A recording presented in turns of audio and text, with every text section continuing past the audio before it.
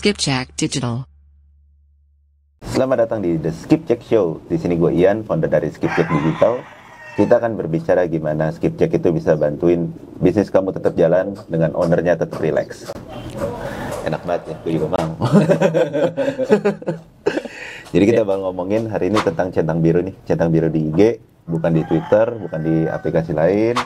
Dan kita ada Henry, di sini kebetulan udah coba fiturnya. Henry ini udah di tim Skipjack mau tahun ketiga, jadi kurang lebih udah dari awal lah ngikutin perkembangan dan dia akan lebih banyak cerita pengalamannya, akun-akunnya sama personalnya sendiri info di Skipjack itu gimana? Mungkin boleh di share ke teman-teman. Oke, halo, salam kenal ya. Gue Henry di Performance Digital Marketing di Skipjack.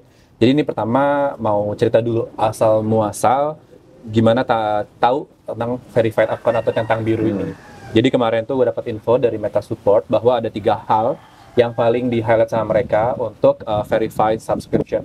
Jadi yang berbayar dalam waktu satu bulan ya untuk paymentnya. Eh sorry, sebelum masuk ke situ mungkin boleh diceritain nggak gimana sih bisa dapat hubungan sama Meta Support? Oh, itu oke. sebenarnya terbuka buat semua orang kah atau kita harus ada special access kah atau harus bisnis kah? Gimana sih cara biar bisa berhubungan Oke. dengan Meta Support Oke. dan Meta Support itu sebenarnya siapa gitu? Apakah mereka cuman ChatGPT AI bot kah atau siapa? gitu? Hmm, oke. Jadi untuk bisa kita uh, chat sama support, itu yang pertama kita harus ada akun bisnis. Terus yang kedua, itu udah kita kita udah pernah handle beberapa brand dari akun tersebut dengan minimum spend yang memang mereka udah sediakan.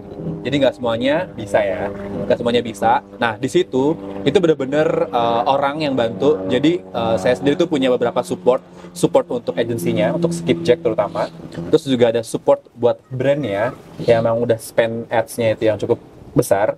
Terus juga uh, ada beberapa support yang secara keseluruhan. Jadi ada yang keseluruhan itu bisa ada platform untuk metanya saja, atau untuk uh, finance-nya, atau juga untuk secara performance di campaign. Itu ada masing-masing. Jadi ada berapa orang? Eh, ada tiga sebenarnya yang gue pegang support itu. Iya, jadi banyak. Terus juga ada yang khusus buat eh, tracking pixel itu juga beda lagi. Jadi ada empat orang dong. Jadi ada Betul. pertama tadi kalau kita ulang ada agensi, Ada agensi, keseluruhan. ah, ada masing-masing brand. ada agensi terus kalau kita ngomongin meta kan agensi itu punya namanya business manager dari business Hmm. manager ada namanya akun iklan atau ad account ada meta support untuk ad account Ya, ada Kedua. kawan. terus yang ketiga apa Buat finance sendiri itu juga ada. finance ini kalau udah ada certain amount bisa mandi invoicing ya Yap. kalau nggak salah itu ya Betul. kalau nggak kalau nggak mandi invoicing dapat Ah, support nggak Sejauh ini belum sih. jadi harus mandi invoicing Iya, mulai startnya berapa ya kira-kira Eh, pernah jalan lebih dari 200 apa juta per bulan per bulan. 200 juta per bulan yang keempat apa Yang keempat ini untuk beberapa update tentang performance secara keseluruhan di Meta. Oh jadi kayak ads, tracking, terus ada update fitur ya. Fitur betul Oh, fitur. jadi ada empat orang nih. Terus kita konekkan sama yang mana? Semuanya kita connect. Enggak yang dapat update Oke, yang centang dapat biru. update ini adalah yang dari agency. Hmm, jadi yang pertama nih, Yang yang, pertama. agensi keseluruhan. Iya. Boleh dong gimana ceritanya dan kapan tuh?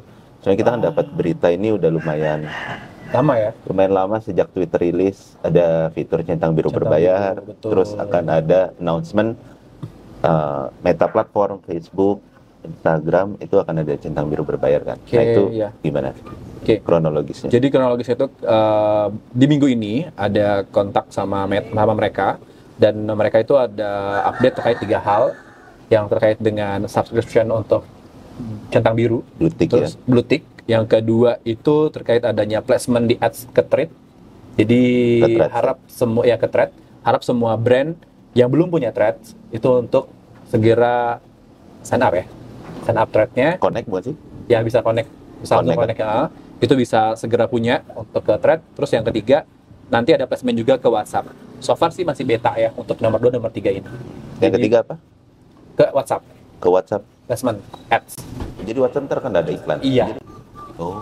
gitu tapi ini masih beta Jadi Gitu. uh, untuk bisnis kalau untuk brand baiknya kita udah konekin ya IG kita ke Threads ya. Itu Hmm, pertama. betul. Kedua kalau bisa kita punya WhatsApp business account yang ya WhatsApp di registrasi di dalam uh, business manager itu manager. sendiri. Oke.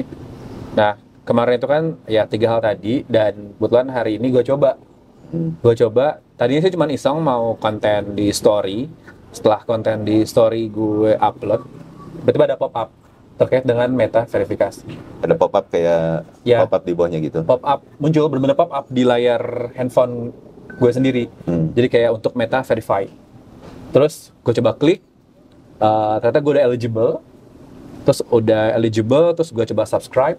Langsung ada harganya di situ. Dan itu monthly. Abis dari situ mereka langsung ya uh, connect ke apa namanya ke Apple ID ya. Apple ID karena kan gue pakai iPhone jadi langsung ke Apple ID yang payment yang sebelum itu gue pakai apa. Kebetulan gue pakai Dana. Jadi gue langsung uh, masuk ke Dana untuk pembayaran.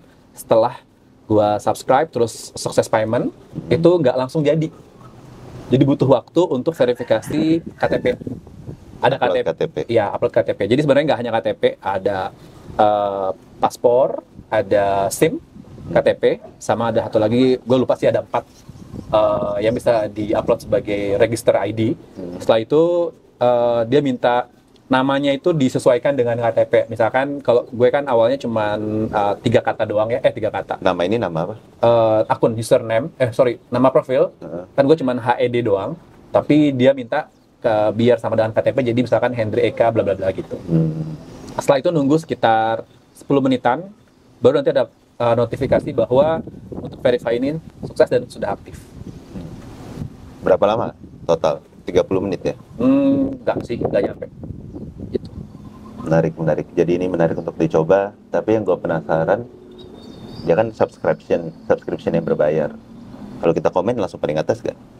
Komen paling atas, belum pernah coba sih. Coba-coba, langsung live Komen ke siapa nih? ke akun mana aja.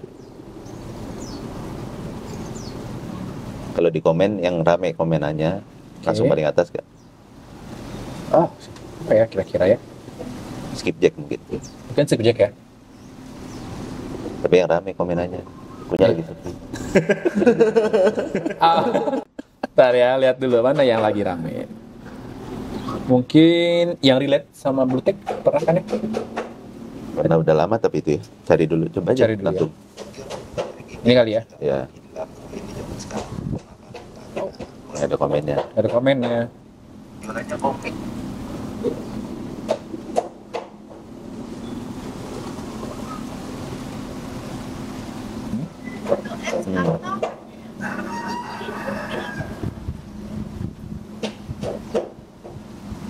Gitu ya. Coba ya.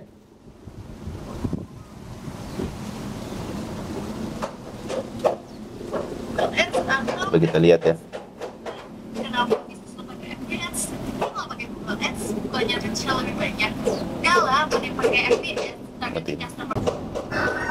Bener. Yes, bener.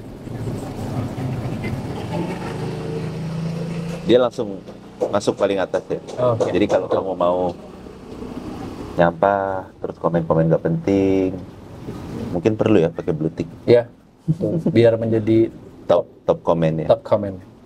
Terus untuk brand kira-kira bisa gak langsung blue tick ini? Gimana sih caranya tadi?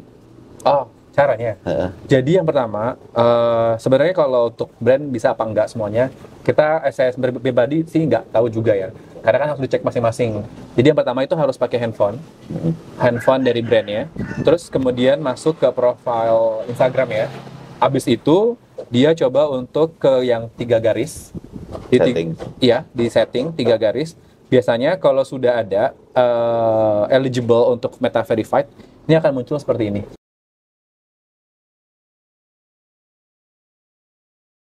akan muncul seperti ini, meta verified. Terus habis itu nanti tinggal ikutin aja sampai akhir sampai benar-benar sukses payment. Bentar itu aja dari kita untuk ini episode Skip ini. Ada mau tambahan dulu sebelum kita tutup. Cukup. Udah. Jadi kalau ada pertanyaan bisa langsung hubungi kita di IG. Kalau mau schedule consultation untuk jadi partner kita, jadi klien kita bisa langsung set up call. Nanti kita bakal discuss bisnis objektifnya kayak gimana. Dan see you next time.